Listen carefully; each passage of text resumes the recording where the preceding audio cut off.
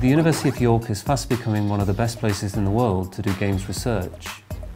We have large projects such as NEMOG, where we're looking at new ways to use games for science and society.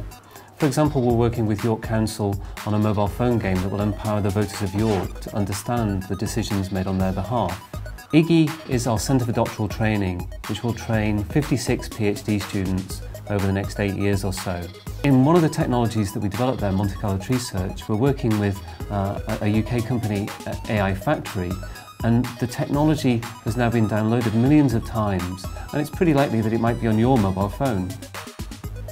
In my PhD I'm looking at this algorithm called Monte Carlo tree search which is an AI technique which has seen lots of use to card games and the game of Go in particular but not so much for games used in the video games industry um, and AAA games in particular. So I'm trying to take the lessons that we learned from research and reinforcement learning and trying to apply that to Monte Carlo tree search and use it to make Monte Carlo tree search more applicable to the sort of games that you see in the industry at the moment. I'm investigating why people play what's called self-paced games. The reason that I'm doing this is I was playing a game called Civilization where it's a self-paced game and you just make decisions. I was thinking, what is it in this game which compelled me to play it and what made it so attractive? I've got three demos. They were all developed as part of the IGGI course. The first one is a simple turn-based game where there are two variants. There's one variant where all the characters look like humans and one of them where all the characters just look like abstract shapes. We're trying to see if people think that the agents that look like humans are more intelligent than the ones that look like abstract shapes. The second demo that I'm showing is a top-down shooter that I made in a group of students for our IGGI Games programming course. And the third one is a demo of the ant colony optimization technique, again made in Unity by myself over the course of a week. I'm using several techniques. One technique I'm using is to make copies of successful self-paced games.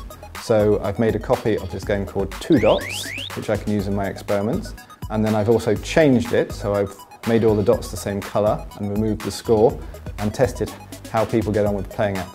Another technique I'm using is pupil dilation, so I can measure the size of people's pupils using this apparatus um, while they're playing the game.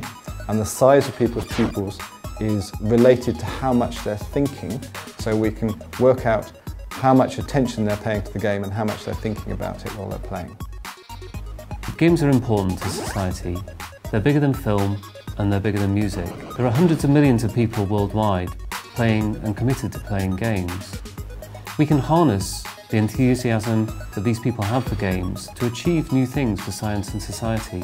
My research and my reason for going into research in the games area is to try and make it so that academic research into AI is actually more applicable to the sort of games challenges that we have in industry. Not much research has been done in games, so there's kind of wide open spaces of games research that are open for exploitation. Our research will benefit the UK games industry and we're already working very closely with them and will harness the power of games as a tool to achieve impact on science and society.